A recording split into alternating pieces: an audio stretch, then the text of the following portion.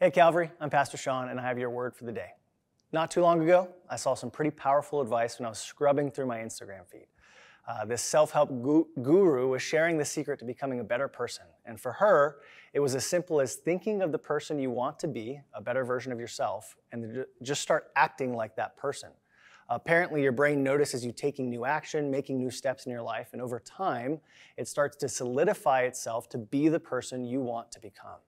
I heard that and thought, wow, that's powerful advice. And the idea is, isn't focused on becoming something unrealistic, but becoming the best version of yourself. And then I thought, that's great, but it's actually missing one thing that is Jesus. John 10, 9 through 10 tells us this I'm the door. If anyone enters by me, he will be saved and will go in and out and find pasture. The thief comes only to steal and kill and destroy. I came that they may have life and have it abundantly. For the Christian, we don't need to discover or create some better version of ourselves and then pretend to be that person.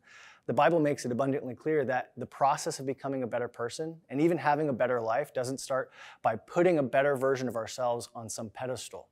It starts by modeling our lives after the very life and commandments of Jesus Christ himself.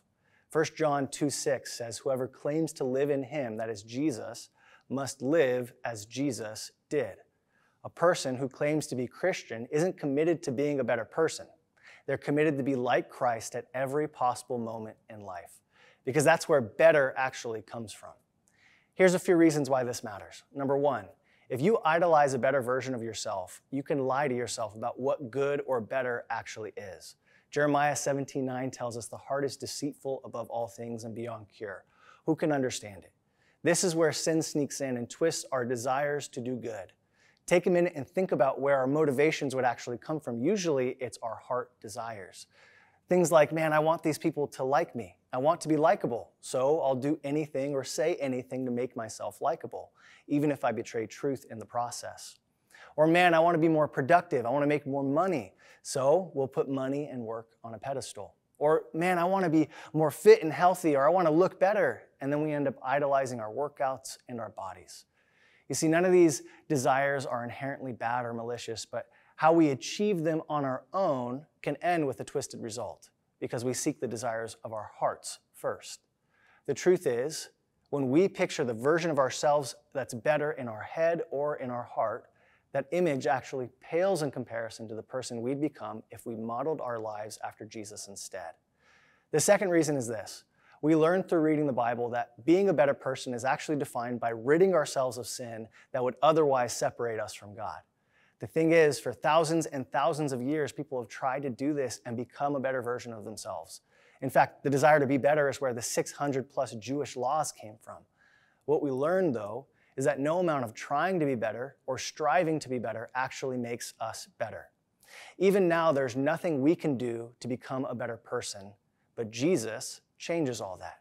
Galatians 2:20 tells us this, I have been crucified with Christ and I no longer live, but Christ lives in me. The life I now live in the body, I live by faith in the Son of God who loved me and gave himself for me. I live as Christ lives in me. For the Christian, modeling our lives after Jesus is almost too, too easy.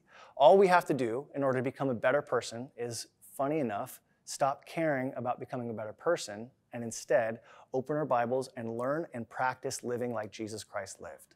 For those listening, if you have any desire to be a better version of yourselves, then live like Christ lives. Do this by practicing one thing surrender. Or as Jesus put it, pick up your cross daily and follow him. Living like Jesus starts by us realizing we can't live a better life on our own. We also can't imagine the immense joy and blessings He has in store for us, and we can't fix ourselves or anyone, but Jesus can. So practice surrendering to Him every day. Stop worrying about being a better version of yourself and instead be more like Christ. Matthew 6:33 tells us, "But seek first his kingdom and his righteousness, and all these things will be given to you as well." True life change doesn't come from trying harder and creating more laws for your, for your life. It comes from surrendering your life to Jesus, dying with Him in baptism, and being raised to an abundance of life. So open your Bibles today, seeking the answer to one question How did Jesus live? I love you, Calvary, and hope you have many chances to live as Christ lives today. We'll see you later.